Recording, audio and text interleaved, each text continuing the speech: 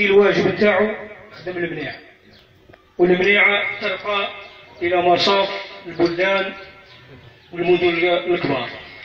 بالنسبة للنقطة هذه تاع المنيعة الجديدة إحنا واش نقولوا لكم يعني أي إطار ولا أي موظف ولا إنسان عنده معلومة هي اللي تفيد لأنه اللي اكتسب المعلومة اكتسب السلطة.